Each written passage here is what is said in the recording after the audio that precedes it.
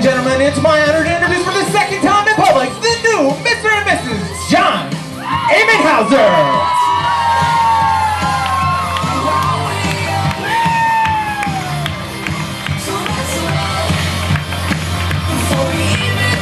Oh, make some noise for them, ladies and gentlemen.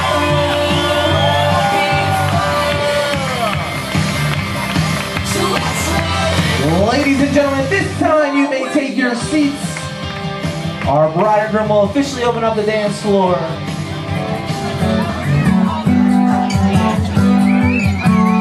Ladies and gentlemen, once again, have another big round of applause for our new bride and groom. Unpack your bag, something small. Take what you need and we'll disappear. Without a trace, we'll be gone.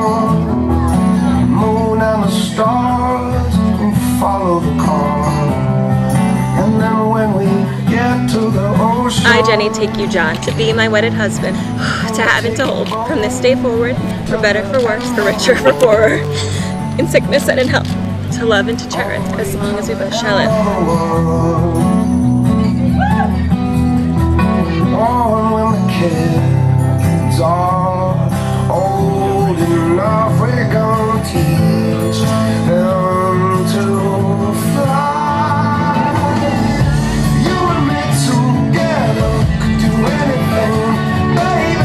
Receive this ring as a token of my love and commitment to you.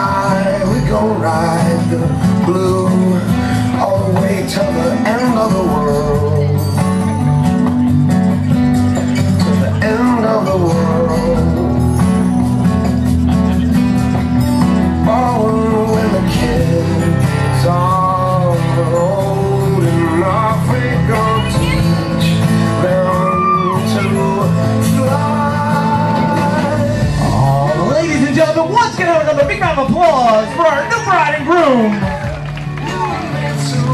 and their entire bridal party.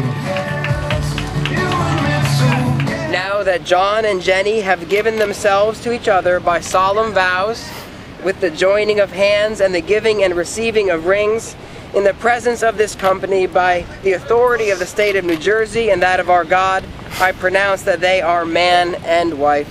Those whom God has no man separate. You may kiss your husband. Love you.